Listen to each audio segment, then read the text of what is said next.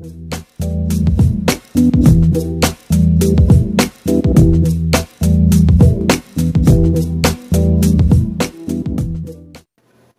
привет, мои хорошие, и с вами я, Светлана Ада. И в сегодняшнем видео я отвечу на ваши вопросы. Но прежде чем начать отвечать на вопросы, я хочу рассказать немножко о себе э, тому, и тем, э, кто впервые э, зашел на мой, на мой канал и э, ничего обо мне не знает. Я Светлана Ата, проживаю в Турции, в городе Мерсине. Мерсин находится на побережье Средиземного моря, недалеко от Алании и, Ата, и Анталии. Сама я родом из Грузии, из Батуми, родилась и выросла в городе Батуми, а э, родители у меня украинцы. Э, сюда я вышла, значит, в Мерсине. Как я очутилась? Я вышла замуж. В браке около э, четвертый год. И, значит, у меня двое детей, трое внуков. Ну, а как я зарабатываю на жизнь в Мерсине, вы можете узнать если э, подпишитесь на мой инстаграм, ссылочка будет под видео. И э, как я вообще здесь живу, на какие гроши. Ну, естественно, я вышла замуж, э, меня муж обеспечивает, но работаю я удалю на работе по интернету. Ну так вот, друзья мои, сейчас я одену свои очки, без которых я не вижу, э, и э, приступим к, к ответам.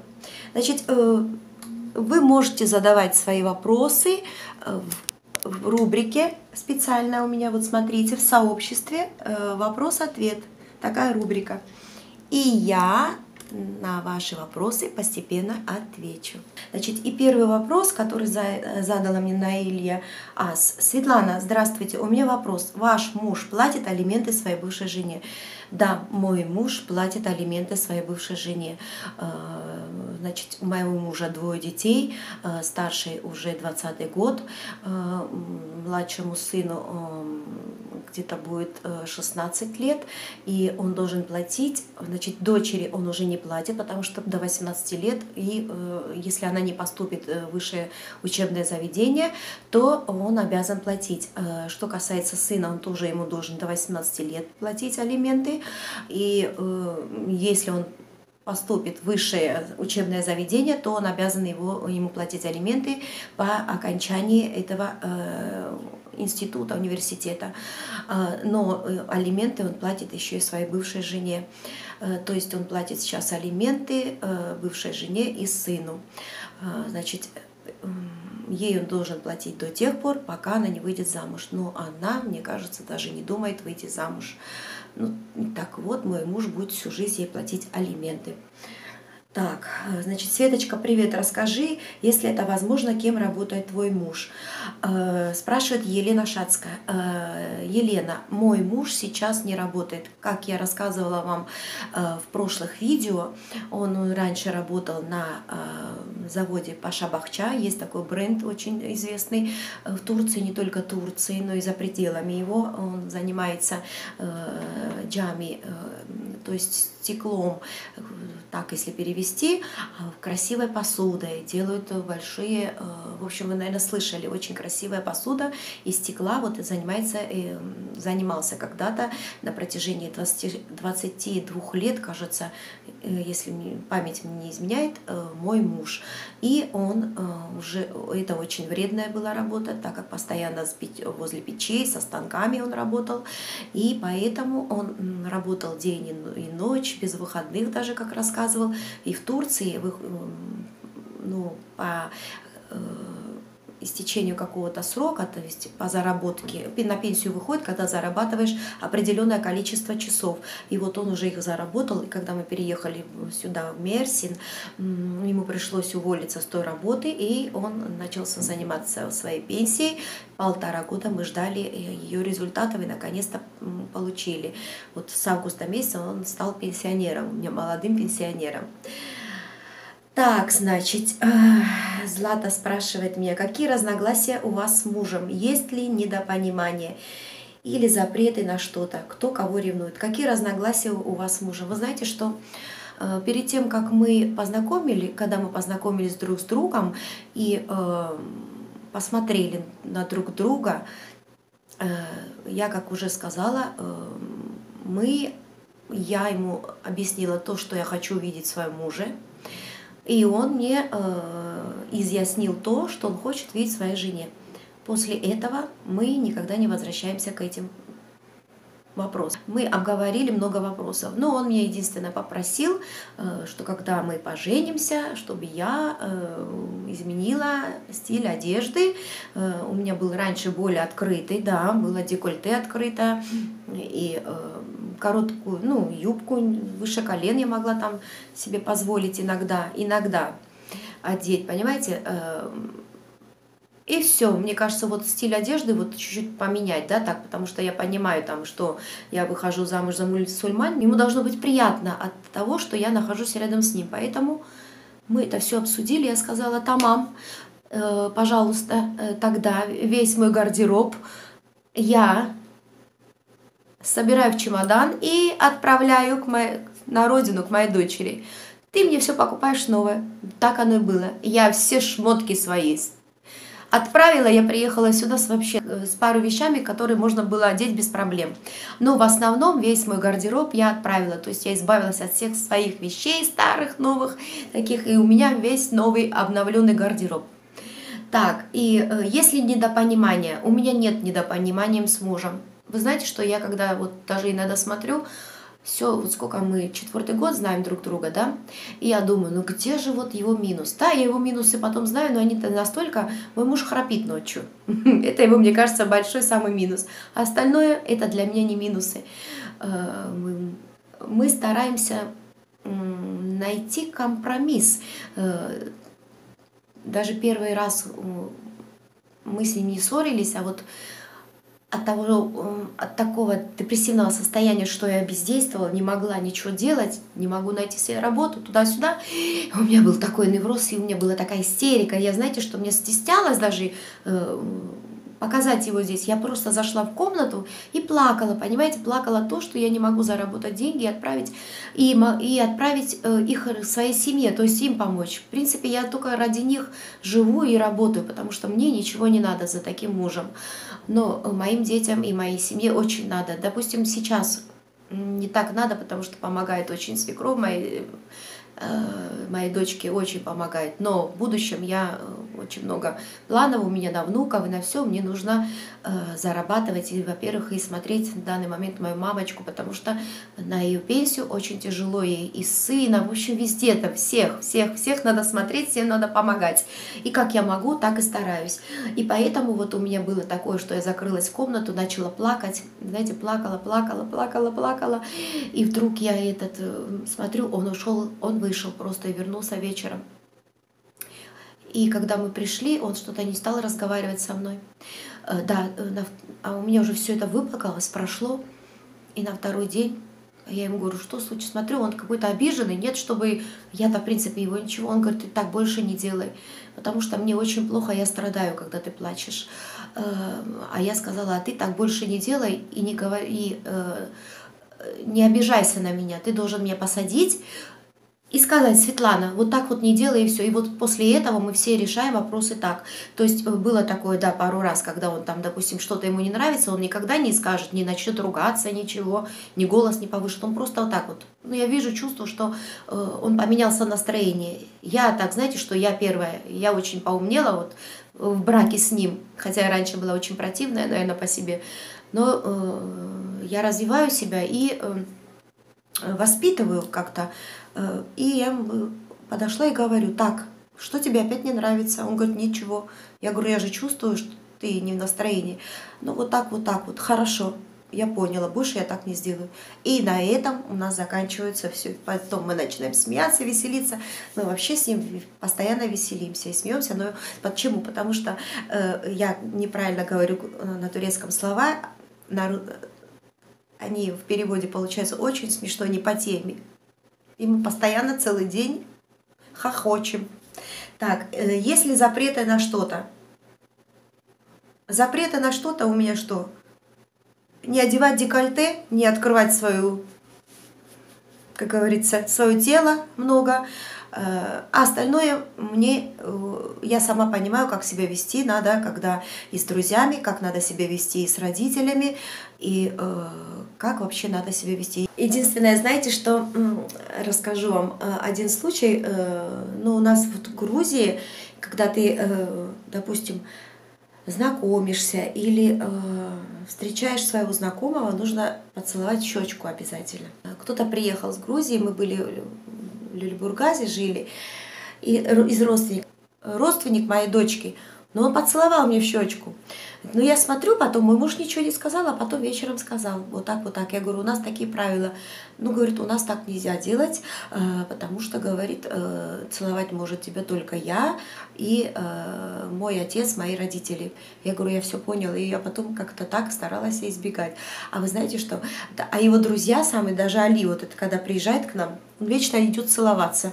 Так я уже так стараюсь избегать, подставляю лоб вот так вот же они здороваются, два раза нужно прикоснуться лбами. Вот уже я так делаю. И мой муж, кстати, уже, кто приезжает мои, поехал в Грузию, короче, начал целоваться, научился уже, понимаете?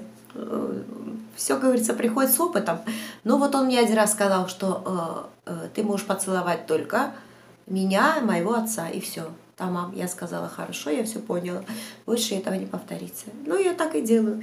Так, значит, кто кого ревнует? Вы знаете, что кто кого ревнует, у нас нету ревности, потому что мы уверенные в друг друге, уверенные в себе люди. Нам не 15 лет, а, мы уже взрослые люди. А, допустим, я знаю, как вести себя.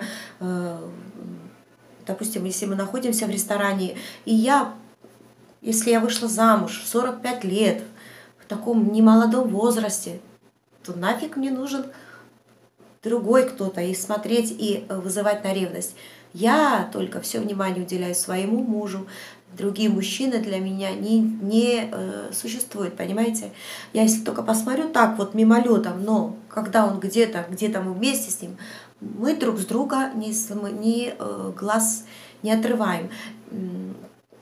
И он то же самое, вот я так наблюдала, он тоже э, в обществе, в компании, когда мы, допустим, попадаем, он сквозь Э, из-под лоби так вот э, даже не смотрит на других женщин. Настолько вот он такой мне преданный, мой ашкым. Ну, э, просто глупо. Мы никого не ревнуем, мы знаем, он уже проверил меня, как говорится, и все. Так что э, ревновать нету повода, мы не даем повод. Так, ну вот на, вопросы Златы я вроде бы ответила. Значит, Аса э, пишет мне, Светочка, расскажите о своей семье, где вы родились. Очень интересно, вы сказали, украинская грузинка, живы ли родители, кто у вас еще есть, брат, сестра, как отнеслись к замуж... к вашему замужеству. Так, моя хорошая Аса. Я э, рассказывала много раз, что я, э, мои родители приехали с Украины, мама Сумской области, отец Ворошиловградской области. Они приехали давно-давно в, в Грузию, Э, к сестре отца. И э, так и остались здесь жить. У моих родителей было пять детей. Э, к сожалению, мою маму не знаю, очень сильная женщина. Она потеряла четверо детей, четыре дочки. Я пятая. И поэтому я для нее все в этой жизни, вы сами понимаете. Да, это вот самую маленькую, у нас три месяца, не хочу сейчас о плохом, но скажу уже, вот в Грузии похоронили остальные три сестрички, у меня похоронены на Украине. И так мама моя и осталась. Потом у меня так получилось, что мой отец э, э, женился второй раз. И родилась моя сестричка Оксаночка, которая живет сейчас на Украине. И знаете, как вот э, мы с Оксаной не виделись, представляете, очень много лет, да. Вот я даже выставляла фотографии. То есть э, мы знаете, как с ней? Она меня нашла, э, я ее помню в детстве, я когда родители, э, мой отец женился здесь в Батуми, потом переехал с новой семьей на Украину, и я помню ее очень маленькой, и вдруг вот через несколько лет спустя она меня нашла, нашла ее сестра по матери, нашла ее родная сестра меня, и мы с ней после этого общаемся, она очень много мне как-то помогала, Я благодаря ей я получила права, даже она мне в тот момент э, помогала все. Я никогда не забуду ее, и мы с ней общаемся, поддерживаем отношения. Она на Украине, и вот я надеюсь, что с Божьей помощью она на следующий год приедет ко мне в гости. И, в общем, э, а так у меня вот, вот сестричка по отцу есть, родная Оксаночка. Живы ли родители? Да, отец наш умер, э, и Оксана дала ему слово отцу перед смертью, что она найдет меня и заменит мне отца, хотя она младше меня, но она такая боевая, такая умная. Мне сейчас говорю, и у меня мурашки аж по телу. Э, есть у меня братик или сестра, я рассказала, как отнеслись к, ваш, к вашему замужеству. Ну, как отнеслись, моя сестра всегда рада за меня. Я уже рассказала, что моя мама, конечно, очень переживала, когда я ей рассказала, что я должна была вернуться. Мы, она, мы не спали всю ночь, проплакали. Конечно, ей тяжело, потому что у нее, я у нее единственная дочка, которая вот так вот выжила, как говорится, и она тоже, тоже со мной очень много мучилась, потому что дети умирали моих родителей из-за резус конфликта. Тогда была медицина не на таком уровне развита, поэтому была такая проблема. И вот я единственная вот у нее выжила, и сейчас, представляете, на старости лет она осталась одна, но э, она не одна, вот я, я каждый день с ней на, на связи. Но что делать? Скажите мне, что-то в этой жизни надо терять, чтобы что-то приобрести, ведь я стараюсь ради них. Да, и дочка сейчас рядом с ней. Мне кажется, моя мамочка не скучает с тремя правнуками. Так, Татьяна, вы супер, где жизнь дороже, в Турции или Батуми? Вы знаете, что э, я думаю, вот я, когда я пожила здесь, поехала в Батуми и подумала, что в Батуми очень все дорого. И сейчас э, перевожу лиры в лары, то есть э, то, что у нас стоит 10 лир, в Грузии в 20 лир. И я смотрю, что здесь в Турции жить намного дешевле. Смотря что, сигареты и алкоголь, конечно, там дешевле, но остальное и мясо там дешевле. А э, все остальное жизнь э, здесь, мне кажется, дешевле. Но я не считаю электроэнергия. Вот, кстати, вот сегодня пришел чек у нас. Э, мы до этого платили 230, а так сейчас у нас вот, вот стоит вот такая вот... Э, мой, мой муж поставил э, в моем кабинете такой, как кондиционер. И намотала 500 лир в этом месяце, но это первый раз такое в жизни. Я не знаю почему. Я вчера вот разговаривала с моими э, друзьями, подписчиками, они встретили на улице, спрашивали меня по, про уровень, э, сколько надо. И вот я им сказала где-то 230. Да, кстати, к сожалению, вы это неправда. Вот в этом месяце, наверное, вот 500 лир. Но мы постоянно, я до 5 часов сижу, электрическая плитка, мой муж там сидит, включает, я здесь работаю. Но вот такие вот дела мои хорошие. Мне кажется, что здесь жить намного э, дешевле. Света, привет, смотрю тебя недавно.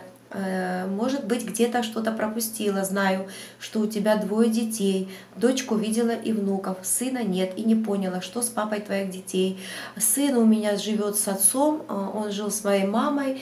Э, но уже взрослый, как понимаете. И когда я приехала на заработки, моей маме сложновато. Она у меня больной человек, гипертоник, очень ну, нерв, нервничает за все, э, все принимает близко к сердцу, и поэтому мой сын иногда приходил не вовремя домой. Это была такая проблема, ну как-то до 12, а она уже в это время это. И мы решили всей семьей, что лучше он пока я на заработок, пока я же зарабатываю ради моего сына, э, он перешел к отцу, там он живет с родителями моего бывшего мужа, ну, с бывшей свекрухой и свекром, в общем, под контролем. Они живут недалеко от меня. И сейчас э, папа моих детей очень помогает ну, дочке моей. Как моя мама даже говорит, э, рассказывает, что он говорит, лучше, чем моя дочка смотрит за детьми. Даже и памперсы, и моет, и купает, потому что моя дочка сейчас начала работать, у нее ночные смены, и вот он приходит, укладывает, помогает.